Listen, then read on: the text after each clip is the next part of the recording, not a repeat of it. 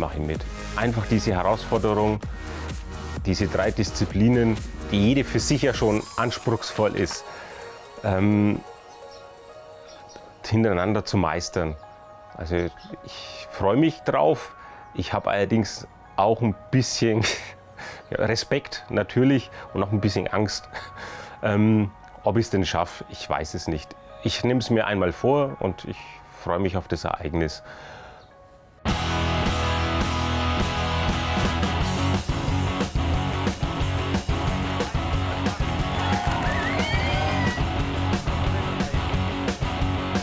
Challenge Rot ähm, besteht aus drei Disziplinen, der sogenannten Langdistanz im Triathlon, 3,8 Kilometer Schwimmen, 180 Kilometer Radfahren und abschließend dann noch ein Marathon von 42 Kilometern.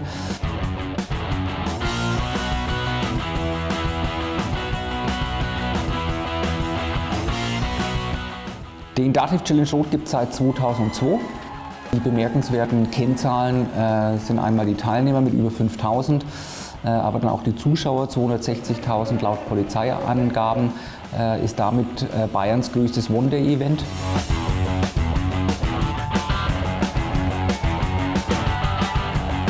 Wir haben 70 Nationen, also alleine 180 Australier zum Beispiel, 100 Amerikaner. Also es ist bunt gemischt.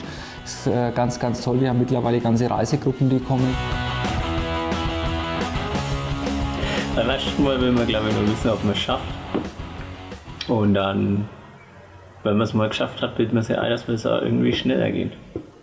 Und auch die Stimmung, die Atmosphäre, also die Strecken unter Wettkampfbedingungen abzufahren und die Geschwindigkeit und auch der Solarer Berg, wo die Zuschauer dann total abgehen und einen bejubeln und anfeuern, das macht schon voll Spaß. Ich möchte es mir selber beweisen. Ich möchte diesen Beweis antreten, dass ich das kann. Äh, und dann äh, oftmals auch in einer bestimmten Zeit. Und äh, das war bei mir damals der, der Antrieb, wo ich gesagt habe, okay, ich möchte mir selber beweisen.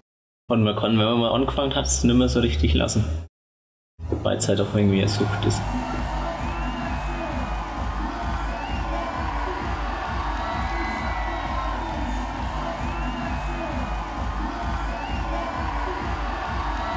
Was ich in den jungen Jahren mal machen wollte, war ein Marathon laufen. Und dieses Ziel, das habe ich ja vor zwei Jahren schon geschafft. Aber im Leben setzt man sich immer wieder neue Ziele. Und deswegen war jetzt dieses Ziel Challenge Rot einmal zu machen.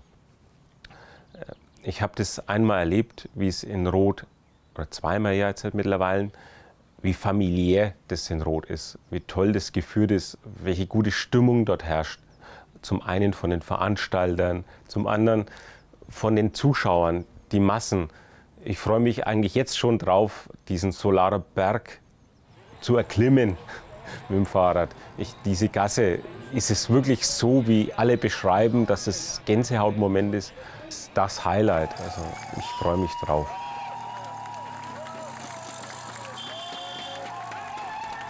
Eigentlich klingt blödes Training. Das begeistert mich am meisten.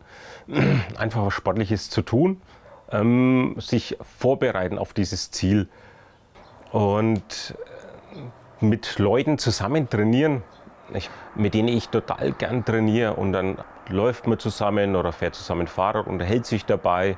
Beim Schwimmen ist es ein bisschen schwieriger, ähm, aber und das macht am meisten Spaß, sich fit zu halten.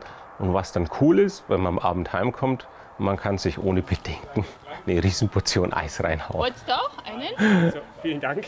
Hast du mal reinlangen, dass er Schlüssel am Tisch. Dann müssen wir morgen Vanilleeis kaufen. Morgen? Ja, dann kann man halt morgen noch schnell anmachen.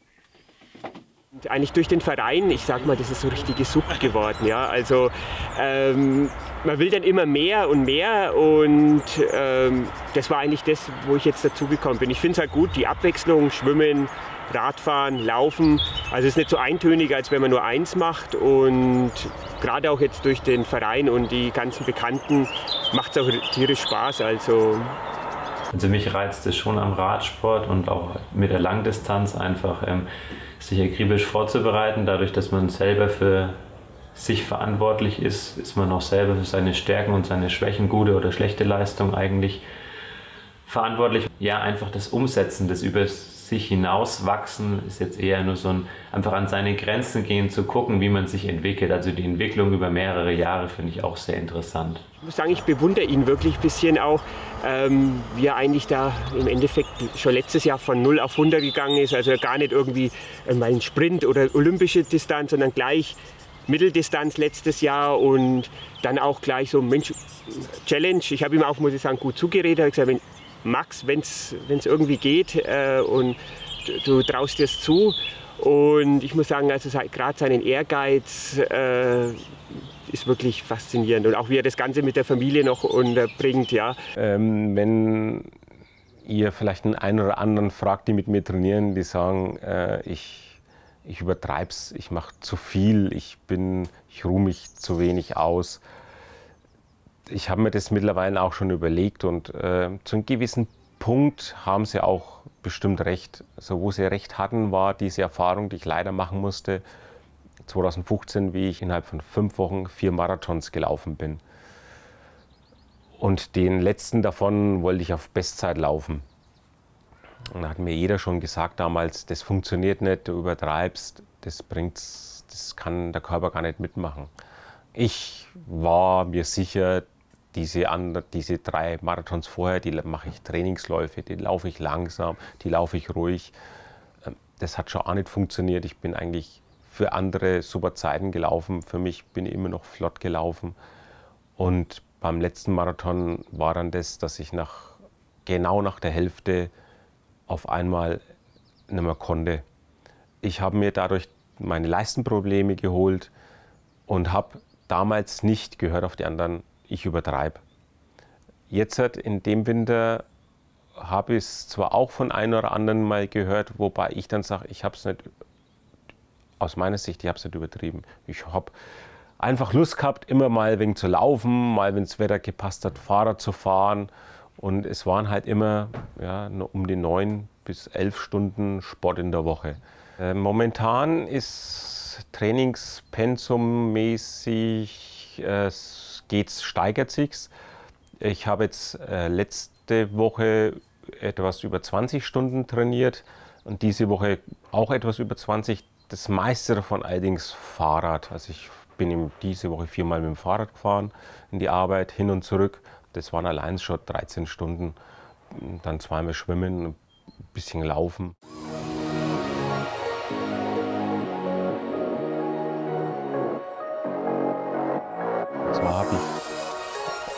Vor drei Jahren begonnen mit dem Laufen. Und das Laufen hatte aber einen bestimmten Grund, warum ich das begonnen habe. Das war, ich weiß noch, im Januar, Ende Januar, war mein bester Freund. Ähm, haben uns getroffen und ich habe schon eine Geschichte gehört. Wir haben uns länger nicht mehr gesehen. Und dann hat er und mir gestanden, er ist Alkoholiker. Und das hat mir äh, schon ein bisschen ja, zum Denken äh, mich angeregt. Dann war zusätzlich noch, meine Arbeitskollegin hat mich immer motiviert, mal bei dem Firmenlauf mitzumachen. Und ich habe ihr versprochen, ich mache mal mit, wenn ich 6,5 Kilometer laufen kann.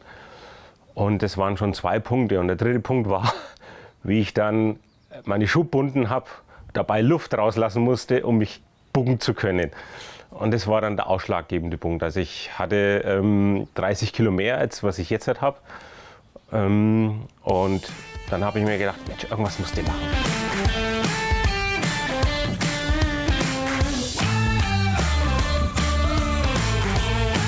Und dann nach drei Monaten Laufen hat dann das Ganze wegen so den Rhythmus, ich bin immer mehr reingekommen. Und dann war irgendwann klar, irgendwann musste mal so einen 10 Kilometer Lauf mitmachen. Irgendwann musste mal einen Halbmarathon mit. Ja, und dann hat sich das so gesteigert. Und irgendwann war es ähm, dass mich jemand gefragt hat. Da bin ich dann auch schon Marathon gelaufen. 2015, also vor zwei Jahren, bin ich meinen ersten Marathon gelaufen. Dann hat mich ein, äh, ein Freund gefragt, ob ich in der Staffel beim Challenge mitmachen würde, dem Marathon. Und dann habe ich das erste Mal so das Feeling Triathlon dort live miterlebt. Ähm, die Leute und was für Stimmung da ist.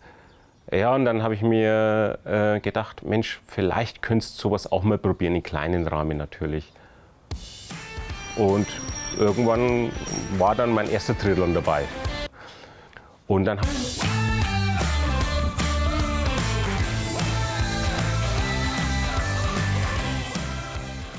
Training versuche ich momentan ein bisschen losgelöst von der Familie hinzubekommen, dass es nicht zu viel belastet.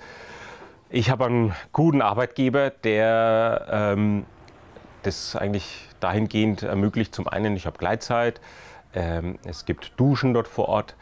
Ähm, es hat sich mittlerweile zum Glück eingebürgert, ich darf mittags joggen gehen. Ähm, in der Früh fahre ich mit dem Fahrrad rein in die Arbeit, abends wieder heim. Oder wie gestern, Freitag, äh, bietet sich dann an, bei dem bombastischen Wetter einfach mal einen größeren Umweg nach Hause zu fahren.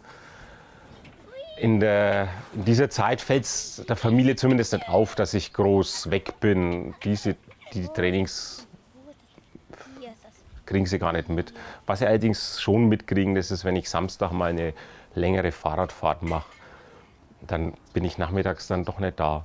Oder Sonntag früh gehe ich halt meistens dann laufen. Jetzt, halt, wo es halt Richtung Challenge geht, sind die Läufe etwas länger. Da brauche ich halt zweieinhalb, irgendwann, wenn ein drei Stunden Lauf kommen. Ähm, aber da habe ich jetzt nur Glück, dass die Nadine und die Kinder oft ähm, in der Früh auch unterwegs sind. Es funktioniert einigermaßen gut, würde ich sagen.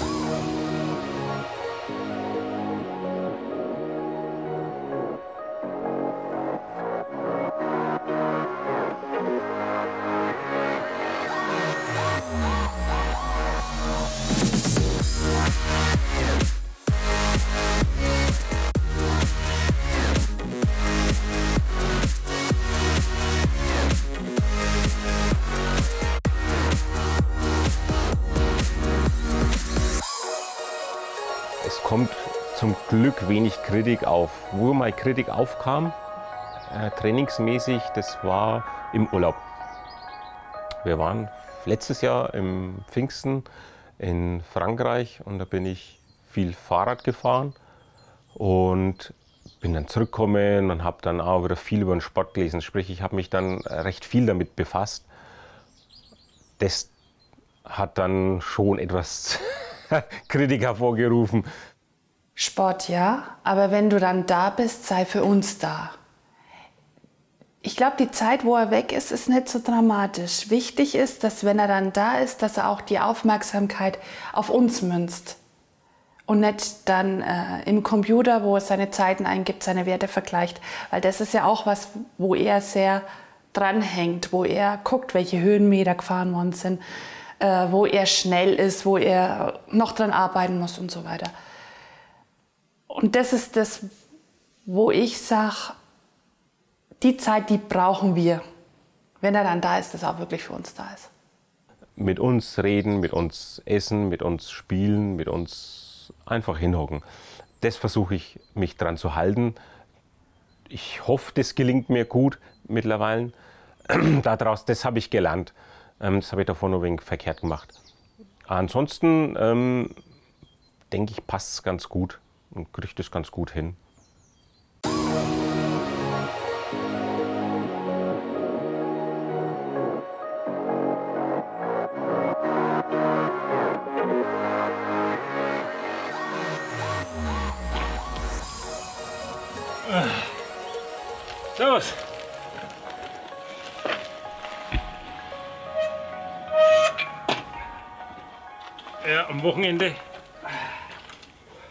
Meine längste Fahrradfahrt gehabt von 165 Kilometer.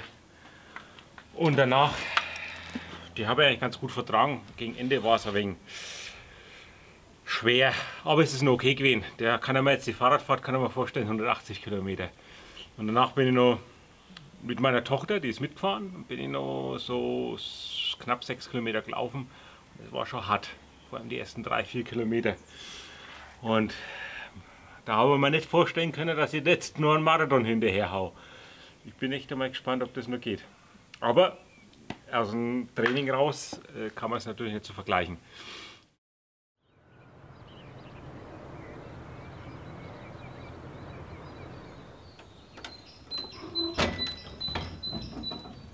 Eigentlich schön, weil er was macht. Das finde ich schön, dass er da auch so zielstrebig ist. Und ich habe den Frank eigentlich auch so ganz anders kennengelernt, weil so ein Ehrgeiz, den er jetzt dafür entwickelt hat, das bewundere ich total. Für mich ist das echt, ich könnte es niemals so machen. Ich, wenn, wenn mal lauft, da ist das nächste Schild für mich schon echt der Hürde. Also die nächsten 100 Meter, das, ja. Also ich finde es ganz gut, aber manchmal auch anstrengend, weil halt doch viel Training dahinter steckt. Gerade jetzt eben beim Challenge, die 20 Stunden Training die Woche finde ich sehr anstrengend für uns als Familie halt. Jetzt für mich, ich kann das schon irgendwie, ja, aber vor allem für die Kinder. Das ist eher das, was mich ähm, ein bisschen, ja, was mich ein bisschen stört, weil sie doch immer nach dem Papa fragen. Was, wann kommt der Papa? Ja, ja es, es lastet, denke ich, schon mal mehr Arbeit auf mir. Mm, und mehr Verantwortung auch ein Stück weit, weil ich mich viel um dies, dieses Zwischenmenschliche von Kindern auch kümmern muss. Also ich muss mich mehr um die Kinder kümmern und auch äh, ja so ganz normale wie Baum schneiden oder solche Sachen, solche Sachen fallen jetzt dann halt auf mich zu. Aber ja, es ist so. Mach ich halt. Dein Urlaub ist besser. Schauen wir mal, ob es in Kroatien auch nicht gibt. Ich glaube, es welche 100 Euro. Meinst du? Mhm.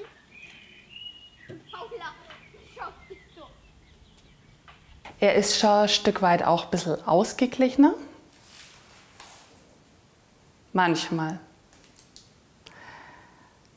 Und manchmal, wenn halt irgendwie von den Zeiten oder wenn irgendwas dazwischen kommt, wenn das nicht passt, dann merkt man schon, wie ihn das anstrengt. Oder jetzt mit diesen 20 Stunden Sport, wo ich auch gesagt habe, das ist so das Maximum, weil ich merke, er geht so an sein Limit. Und da habe ich einfach Sorge, dass es zu viel wird. Ja, und so hat er sich eigentlich, er ist halt der Frank. Das ist in Ordnung. Ja. Ich denke, durch meinen Sport und die Aktivitäten, die ich mache, ist eigentlich die Beziehung entspannter geworden. Zum einen äh, gegenüber der Nadine. Ich bin ausgeglichener. Der Nachteil ist allerdings, wenn ich keinen Sport mache, ein Tag ist okay, beim zweiten Tag fängt es an zu kribbeln. Da sagt sie dann manchmal schon, pack deine Laufschuhe und geh hinaus und lauf eine Runde. Äh, einfach um dich ein bisschen abzureagieren. Aber äh, grundsätzlich bilde ich mir ein, dass es viel ruhiger geworden ist. Wir hatten jetzt davor auch nie groß Streit oder, oder sonst irgendwas. Aber ich bin gelassener geworden.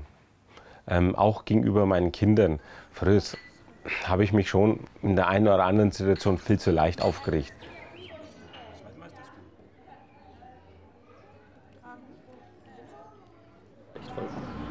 Ja dann eigentlich eins. Muss nicht so sein. Ich habe am Mittwoch einen halben Liter Eis gegessen. Ja, also es ist jetzt zur Zeit halt extrem viel Sport. Ich habe ihn jetzt die Woche, also heute habe ich ihn ja noch gar nicht gesehen, nur einmal ganz kurz. Das ist aber schon wieder weg. Und davor ist ich habe ein also Wochenende war er nicht wirklich da. Erst fast, weil gestern hat er Triath, also Triathlon wieder gehabt in Ingolstadt. Und er ist halt schon sehr oft weg und ein bisschen weniger wäre halt besser, weil er läuft ja, er läuft ja, fährt Fahrrad und schwimmt und wenn er manchmal sowas rauslassen könnte, dann wäre schon ganz schön. Also, naja, ich finde es naja, weil dann ist halt nicht so oft bei uns. Der kann nicht mit uns so oft spielen. Und so. Das ist halt fast immer beim Sport oder in der Arbeit. Arbeit kann ich verstehen, aber Sport nicht. Man kann vielleicht ein bisschen, aber viel. Der schafft ja ganze 42 Kilometer. Nur soll ich mal den Ball legen. Okay, ähm, ich finde es eigentlich richtig cool, weil ich möchte auch mal was mit Sport machen. Auch so wie der Papa sein. Nur nicht so viel. Aber ich finde es eigentlich nicht so schlimm. Weil wenn er da ist, dann macht er mit uns schon was. Aber es ist manchmal schon blöd, wenn er abends nicht da ist.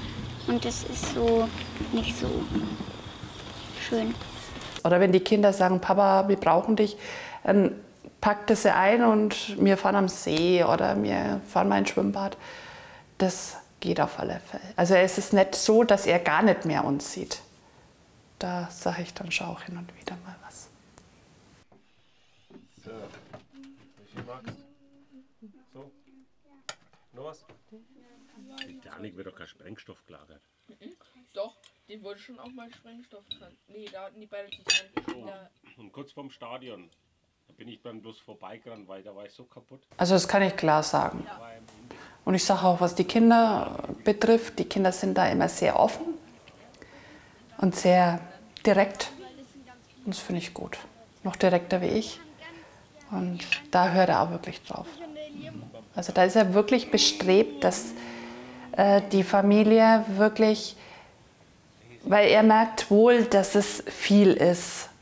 Aber er ist schon bestrebt, uns nicht aus den Augen zu verlieren. Das merke ich auf alle Fälle. ja, gesagt, es ist mir wichtig, dass ich immer zum Abendessen da bin.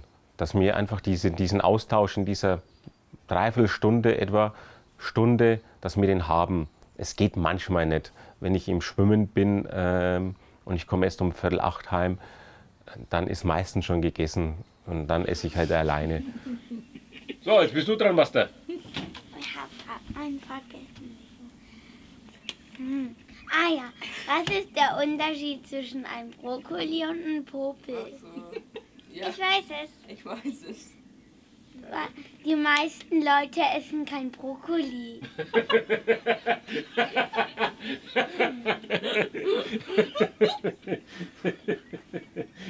Also vorher fand ich es besser, weil der war öfter da. ähm, also ich fand es besser, weil er öfter da war, aber naja, er, seine Figur ist dafür jetzt dünner und er hat größere Muskeln und er ist steinhart.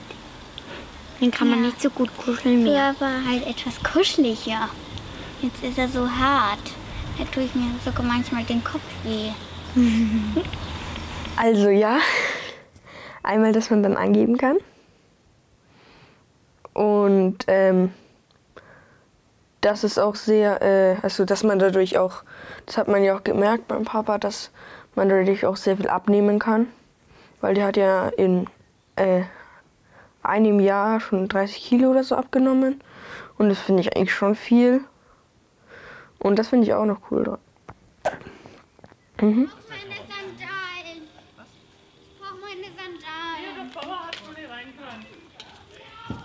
Hat es aber geklappt.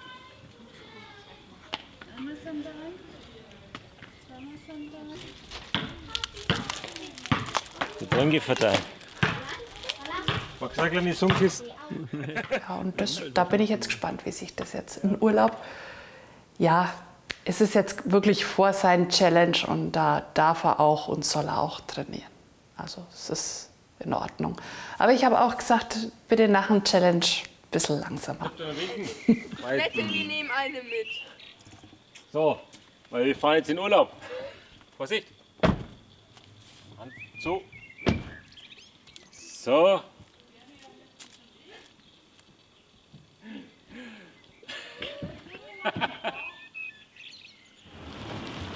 Der Frank sagt auch, oder hat am Anfang auch mal gesagt, dass viele Ehen gerade bei den Triathleten nicht halten. Dass es da die höchste Scheidungsrate gibt. Und ich sehe das auch bei seinen Kumpels, dass, äh, dass die Frauen auch immer wieder, dass es immer wieder so Spannungen gibt. Und ich habe mir die Frage gestellt, warum gibt es bei uns nicht? Warum ist das schon mal klar, wo ich dann klar was sagen muss, äh, wenn es dann wieder zu, wenn es mal zu viel wird oder wenn es mir oder den Kindern zu viel wird. Aber warum ist es bei uns nicht so? Warum kann ich da über allen so, habe ich so einen Frieden drüber? Und ich glaube, das ist der Glaube. Weil ich eine Liebe gekriegt habe zu ihm, zum Frank, die ich vorher auch nicht so gekannt habe. So eine tiefe Liebe, weil er macht das, ihm ist es wichtig und ich liebe ihn so, wie er ist. Und deshalb gebe ich ihm auch den Freiraum, den er braucht. Einfach durch diesen Sport, den braucht er. Aber den,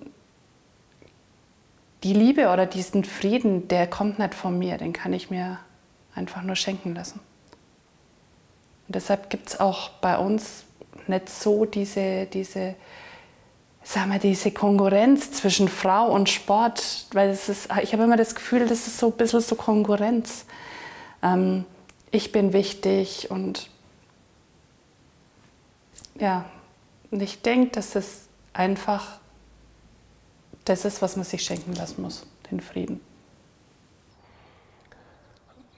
Meine Frau hat ja damals, vor, bevor sie die Zwillinge bekommen hat, ihr, war sie schwanger und hat das Kind im Ende fünften, Mitte fünften Monat verloren und wurde postwendend wieder schwanger, eben an den Zwillingen, die ja zum Glück gesund äh, und munter auf der Welt sind.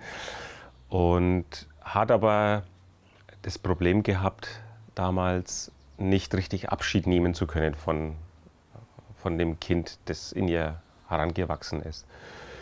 Und es hat sie schwer verarbeitet und ich habe ihr nicht so helfen können. Ich habe mit ihr geredet und wir haben uns schon ausgetauscht, aber in dem Punkt war ich nicht der richtige Partner.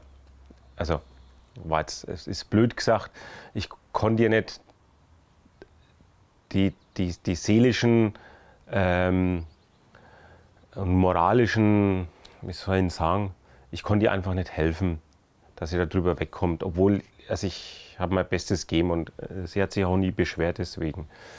In der Zeit hat sie dann unsere Nachbarn kennengelernt, ähm, intensiver und die sind sehr christlich und äh, gehören einer Gemeinde in Spalt an. Und sie ist dann da oft mitgegangen und hat durch den Glauben an Gott, an Jesus, hat sie für sich dieses, dieses, diese schreckliche Erfahrung ähm, überwunden. Uh, ich finde es toll, dass sie das da gemacht hat. Ich gehe auch gern hin. Es sind total nette Menschen. Und ich bete auch, so ist es nicht. Ich habe leider nicht so den vollen Bezug dazu. Mir tut es auch ein bisschen leid, aber ich habe es halt bis jetzt noch nicht geschafft. Ob der Sport dafür die Ersatzreligion ist, ich glaube eigentlich nicht. Für mich ist es eigentlich nur, wie gesagt, es hat für mich ja anbegonnen, um Gewicht zu verlieren, um äh, ich habe damals dann auch gar keinen Tropfen Alkohol mehr getrunken, ähm, trinke auch jetzt halt fast nichts mehr. Und für mich ist es einfach nur, mich fit zu fühlen, mich gesund zu fühlen und in der Konversation mit den anderen mich zu unterhalten als Religion würde ich es eigentlich nicht sehen. Doch. Ich glaube schon, dass äh, alles, wo man seine Zeit exzessiv reinsteckt, ist für einen selbst die Religion oder der Glaube. Ähm, und für ihn ist es, er sucht da drin halt Erfüllung. Und da halt irgendwie ja, Bestätigung oder wie, auch immer. Ähm, ja, ich habe halt, was ist, wenn dir was passiert und der Sport wegbricht? Was hält dich dann noch? Was ist dann noch da? Und das muss er halt irgendwie auch mal erkennen, oder? Ja. Für mich ist das, ja, mein Glaube trägt mich, mein Glaube hält mich. Egal was passiert, Und da habe ich halt ein bisschen so wegen Sorge, was ist, wenn sein Körper nicht mitmacht mehr? Was passiert dann? Wohin fällt er dann?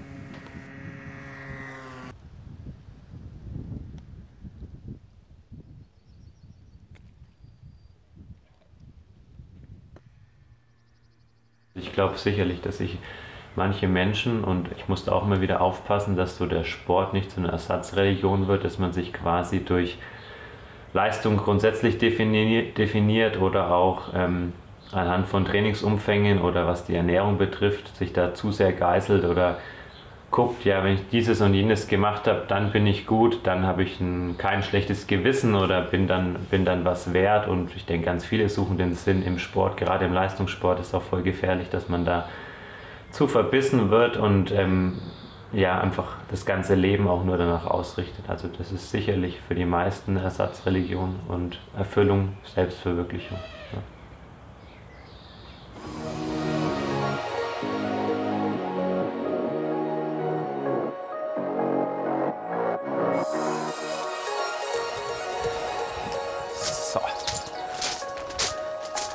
So, jetzt geht's auf zum Schwimmen. Und du? Du bleibst aber hier bitte.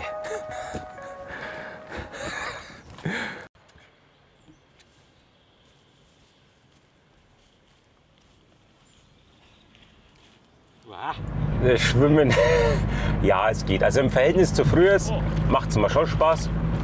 Ich habe jetzt für mich diesen Petersmünder Baggerweiher entdeckt und das macht schon Spaß.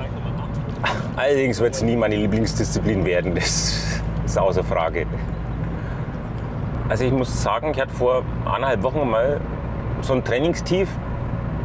Ähm, da habe ich einfach irgendwie keine Lust gehabt zu laufen und zu schwimmen und zu Radfahren, nicht ganz so.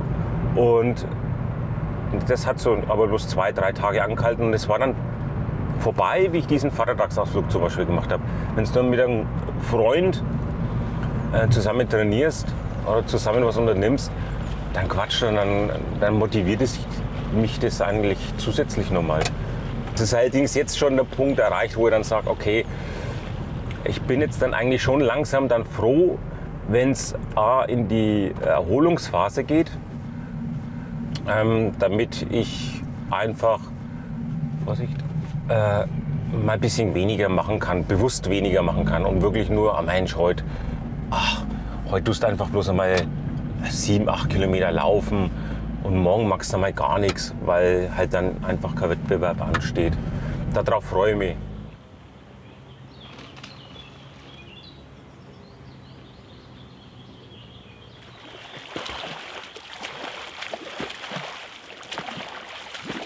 Ähm, gerade am Rad ist echt übel. Ich habe einen Bekannten, der hat jetzt einen Unfall gehabt. Der ist vom Fahrrad ähm, auf dem Fahrradweg gefahren und ist mit einem Auto kollidiert, das einfach über den Fahrradweg gefahren ist in die Einfahrt vom Grundstück.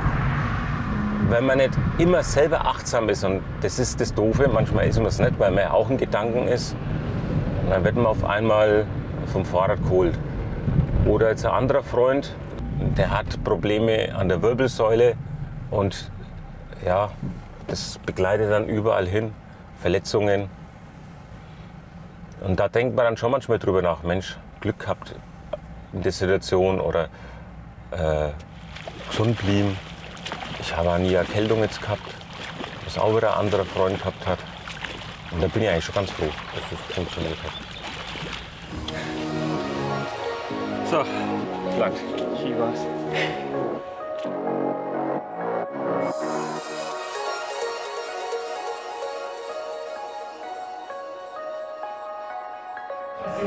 So, heute ist der letzte große Test vom Challenge Rot. Ich mache am Rotze-Triathlon mit. Wie man sieht, ich hoffe, ich komme jetzt dann so in knapp zweieinhalb Stunden äh, durch die Zielanlauf hier durch.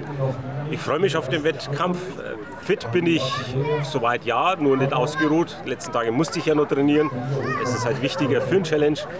Ich freue mich jetzt drauf äh, mit den äh, Kollegen vom Verein. Und ja, in zweieinhalb Stunden will ich dann durch den Zielbogen kommen. 6, 5, 4, 3, 2 und ab. Also, Patrick Fuchs, der hat hier gewechselt wie die Feuerwehr, die Wechselzeit unter eine Minute. Und äh, jetzt. Der Wettbewerb heute ist super gelaufen. Also ich bin sehr zufrieden. Mir hat es sehr gut gefallen. Und es war jetzt die optimale Vorbereitung für den Challenge. Ich bin jetzt guten Mutes. weil es heute mal eine schnelle Einheit war zur Abwechslung und ich bin gut durchgekommen.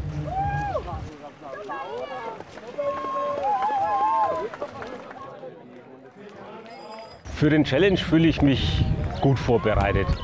Ich habe jetzt viel trainiert. Ich habe jetzt nochmal nach dem Heilbronner Triathlon, der letzte Woche war und eine schöne Einheit war, und habe diese Woche nochmal gut trainiert. Und jetzt ist eigentlich das Trainingsprogramm groß, grob vorbei. Ich habe jetzt noch ein paar kleine Einheiten, einfach nur, damit ich ein bisschen fit bleibe, aber ich regeneriere mich. Ich denke, ich komme gut durch und ich freue mich jetzt schon drauf auf den Wettbewerb. Paul Günther, wir sehen die Anja auf dem Weg ins Ziel. Ich habe momentan so eine Mischung.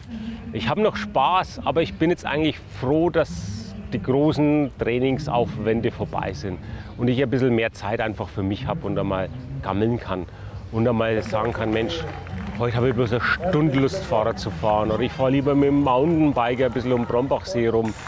Darauf freue ich mich jetzt eigentlich wieder. So dieses typische, ich muss jetzt mit dem Rennrad vier, fünf Stunden fahren, weil ich immer lange Einheiten machen soll, muss, der habe jetzt die Schnauze voll, wenn ich bin.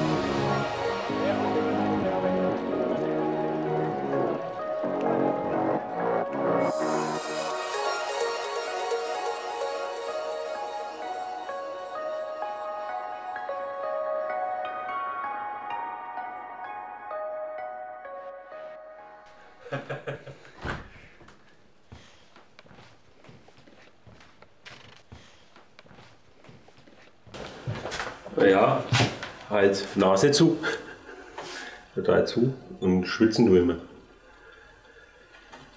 Aber ich gestern, ich vermute mal, dass ich gestern wie geschwommen bin. Und dann war es so zugig dann auch und windig. Und ich habe dann meine Fahrradklamotten gleich anzogen, weil ich ja dann noch, oder, weil ich noch joggen wollte, ein bisschen. Dass ich mir da durch den Wind, durch, das warm war es auch nicht, es war kalt. Und ich war dann natürlich nur wegen nass dass ich mir da ein wenig erkältet habe. Aber ich habe nur Zeit. Es sind ja noch fünf Tage. Und hoffentlich, ich denke, das ist jetzt nicht so schlimm, aber Nase zu und schwitzen tue ich halt. Also heute und morgen ist definitiv gar kein Sport drin. Und Mittwoch weiß ich jetzt noch nicht. Ich gehe jetzt dann später einmal zum Arzt nachmittags. So, heute Donnerstag, drei Tage vom Challenge. Letzte kleine Laufeinheit. Fahrrad gefahren bin ich jetzt gerade. Das ging ganz gut. Und jetzt laufen wir noch so fünf Kilometer, will ich heute mal laufen. Weil die Woche bin ich gar noch nicht gelaufen. Ich hatte eine kleine Erkältung. Die ist jetzt soweit ganz gut. Nase ist nur ein bisschen verschnupft. Ich hoffe, dass das sich bis Sonntag noch ganz gibt. So. Ja, wie ich angefangen habe zu trainieren, habe ich mir mal so gedacht, ne, so 11.30 das wäre wär tolle Zeit. Zwischen 11.30 und 12. Jetzt, wo ich das Training mehr mit abgeschlossen habe, habe ich eigentlich mir gedacht, Mensch, Schwimmen ist 1,25 ungefähr drin. Bin ja nicht der weltbeste Schwimmer. Beim Fahrradfahren kann ich am schlechtesten einschätzen. Habe ich mir mal gedacht, so 5,30 und laufen, ja, so 3,40. Eigentlich sogar 3,30, aber jetzt ist es zu heiß. Das Wochenende haben sie ja jenseits der 30 Grad schon vorausgesagt. Und es kostet zu viel Körner. Da denke ich, werde eher so 3,45, 3,50 versuchen anzugehen damit ich am Schluss nicht so einbreche. So. Also eine Gesamtzeit würde es sich ergeben von ungefähr elf Stunden. Und da wäre ich aber schon sehr zufrieden. So, jetzt lege ich noch einen Sprint hin, damit ich hier auch hinterherkomme. das langt. Ich fühle mich fit. Challenge kann kommen.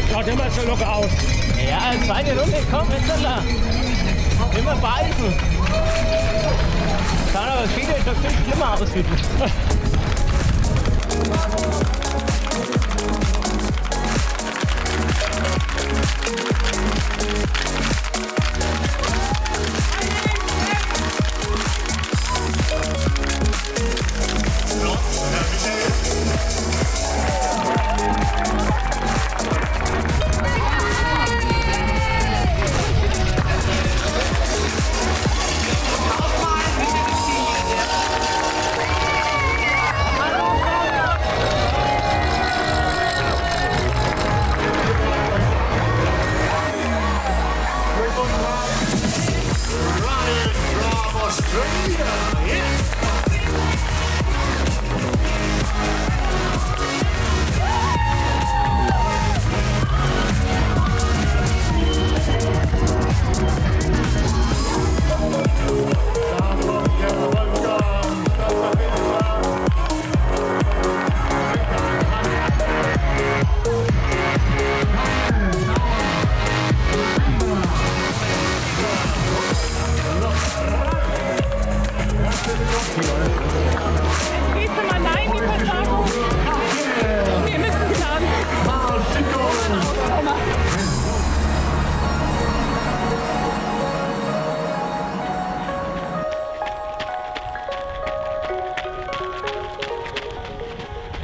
Entschieden, nächstes Jahr es nicht zu machen. Das heißt aber nicht, dass ich nie mehr teilnehme.